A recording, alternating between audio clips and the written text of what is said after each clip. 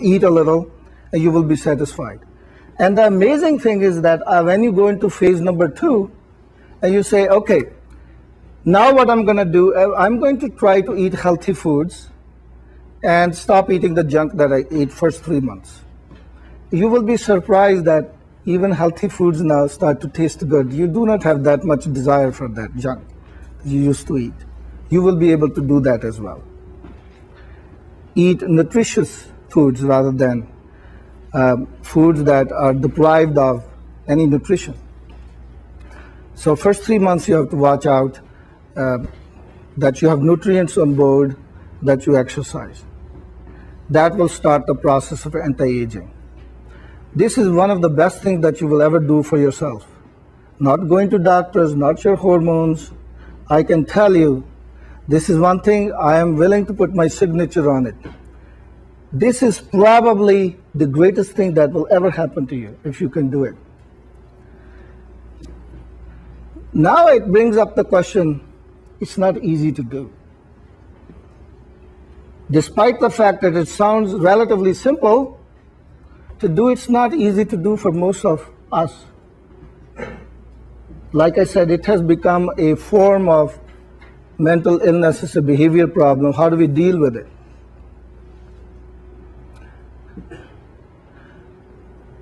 I'm going to give you a cliche now, which you're not going to like. You say, oh, I heard about this before. You do it through the power of your mind.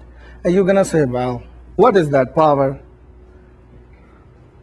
People write books about this. What is that power of your mind? Is some kind of bullcrap that people talk about? Is it something real? I'll tell you the whole gist in 15 seconds. The power of your mind is, is understanding. And understanding is being in control. And once you are in control, you are now in charge. And once you are in charge, you control your own destiny. And I will tell you something. When you get to that point, you don't make any efforts. It becomes a second nature. You do things effortlessly. You don't think about it. You never think it's necessary to get back on the scale because it becomes part of you it becomes part of your person.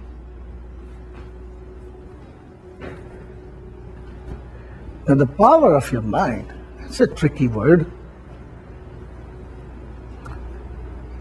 I said power of your mind, the power of mind is understanding. Understanding the problem deeply enough that it clicks, it kind of turns on that switch in you. You can be knowledgeable, you can read every book. How many of you have read books on weight loss? And there were wonderful stuff in there, right? You really liked it. Dr. Phil wrote, he has the ultimate guide for weight loss. Meanwhile, he have the custom made bigger and bigger coats so he can buy, hide his belly because it grows one inch every year. None of these book writers are your friends. They know the problem in society and they want to take advantage of that. I'm not saying they shouldn't write books. I don't want to be cynical. But it's good to be cynical sometimes. You know what Bernard Shaw once said? He said, The power of accurate observation is cynicism, called by those who do not got it, who do not have it. So you should be able to look through someone's claims and understand it for yourself, not for the other, others, for yourself. You can have all the knowledge in the world, but if you do not understand it, it's useless.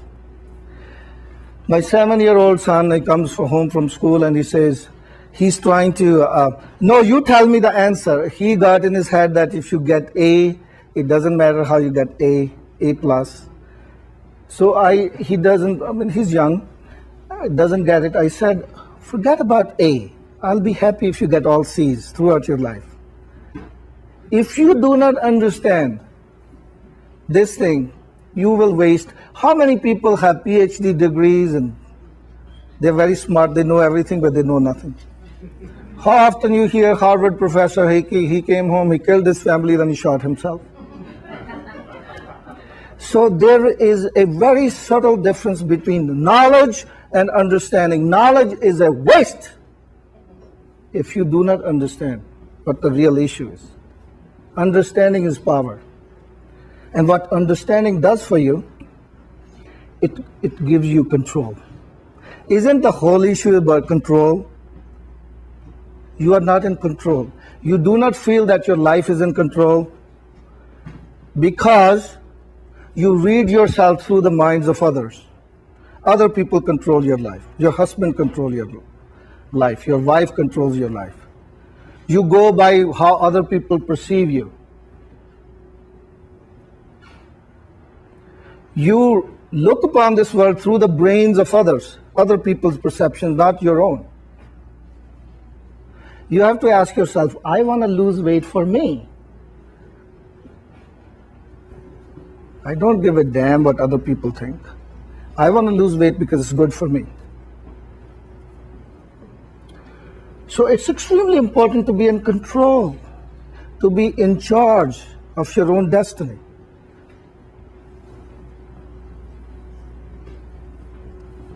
Do not do favors to other people, do favor to yourself.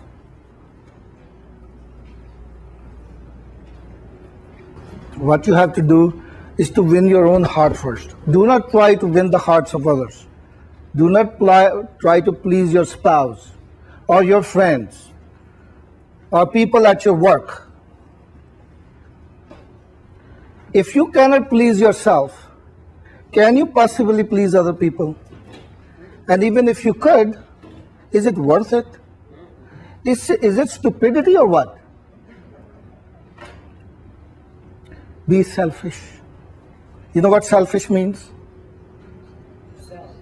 Be yourself. Selfish means be yourself. We were born that way. It's okay to be selfish. It's not criminal to be selfish. Because if you are not, then there is no one out there who will look out for you. You have to take responsibility for yourself. Forget about what other people see you as. This understanding will give you a tool. It's a magic tool that will allow you, for the first time in your life, to start to get off depression medications, to get off anxiety medication, to start sleeping better. Your self esteem is up. There is nothing that will come in your way, and you can do it. How many of you think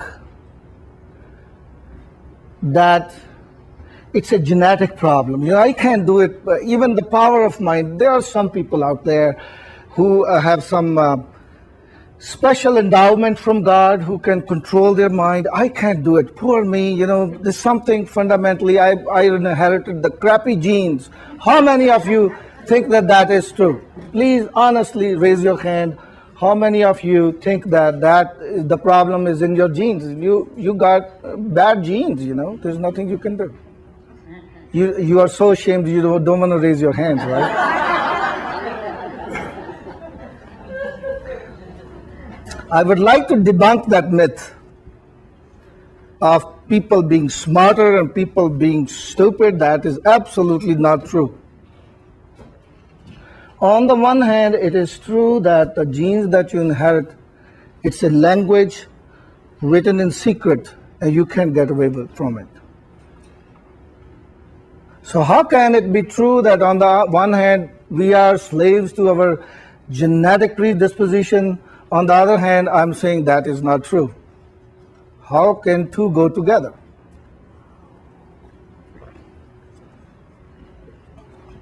It turns out that it's absolutely true. The genes that you inherit determines everything. In 1957, when we figured out the structure of DNA from uh, crystal through X-ray crystallography, for the first couple of day, a couple of uh, decades, even up to 80s, the conception was that genes control everything. You are doomed. and in some ways, that is true. Genes do control everything. But when we started doing more research on this, quite the opposite was true. You know, if you clone a person, if I could clone you, your exact copy, body and mind, you will be still different. Why is that? Do you ever wonder why twins born same day, identical twins, they are different? Their personalities, they are same in some ways. If one scratch their cheek all the time, the other one will do the same thing. But they are still very different. Why is that? Because it's the environment. Now we are learning that the myth of genetic predisposition is not true. Maybe genes will play about 5% of the role in your life, no more than 5%. 95% of what happens in your life is your environment and you. Yes, it's your social environment. Yes, it's your economic and the familial environment, but it's also you. It's the interaction really between you and your environment that's going to determine what's going to happen to you. So this myth that some people have genes that they are born a musical genius or they are born as a mathematical genius. We know that some people are born with certain genes that are kind of more active. There is a natural desire to learn mathematics in some children. Some are very young and they kind of have talent for music. But it turns out that we all have the same genes. In the future, we will be at will be able to turn on certain genes and turn off certain genes. But that's medicine of the future. The planet Earth, when was it born? We know now.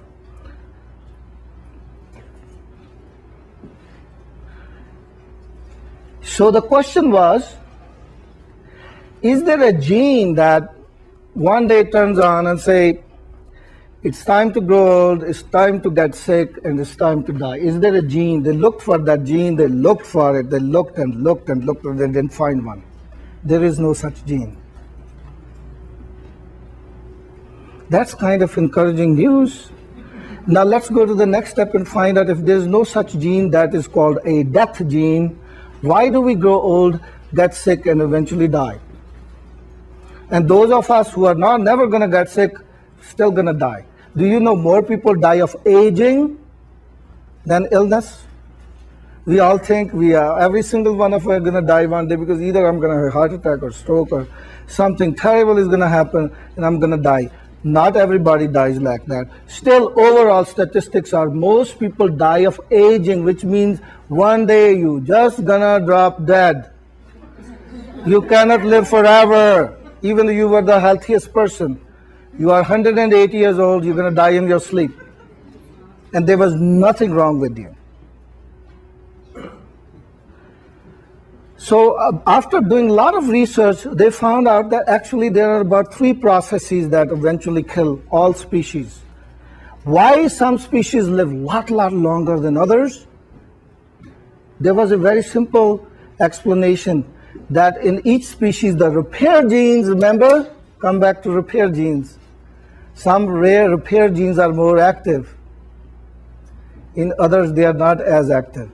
So depending upon how your DNA is functioning or how fast it deteriorates will determine how fast you're going to die. What is the rate of mutations in your DNA is going to determine how you die. There are about three processes through which all species die. One of them is glycosylation, which is technically I won't go into, it will spoil the lecture if I go into the detail. Another one is apoptosis, which means basically cell death. And what happens when